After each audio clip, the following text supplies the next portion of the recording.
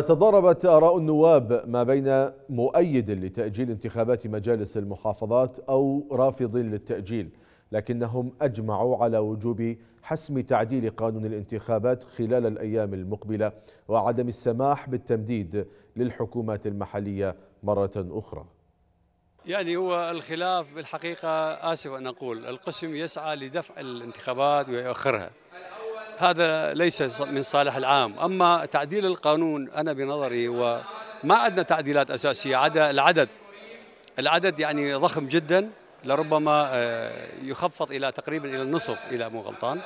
وهذا ما يستوجب من عندنا وقت. ولكن ما لا أعلم سبب تأخر دفع القانون للتصويت قريبا إن شاء الله. عندنا قراءة الأولى انتهت قراءة ثانية سووا مناقشة.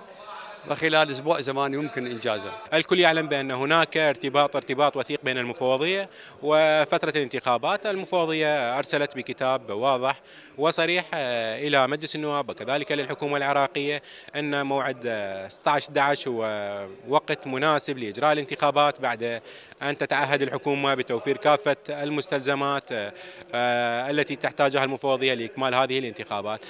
كتحالف سارون نحن مع إجراء الانتخابات في هذا التوقيت لكون الكل يعرف بأن مجالس المحافظات مضى على عملها أكثر من أربع سنوات والكل يعرف بأن أن الانتخاب هو لفترة محدودة ولصلاحيات معينة وأعتقد أن هذه الفترة المحدودة تجاوزت تجاوزها أعضاء مجالس المحافظات بنسبة كبيرة وصل إلى ما يقارب ست سنوات لكن في الواقع الحال والمفروض والمنطق أن يكون أربع سنوات.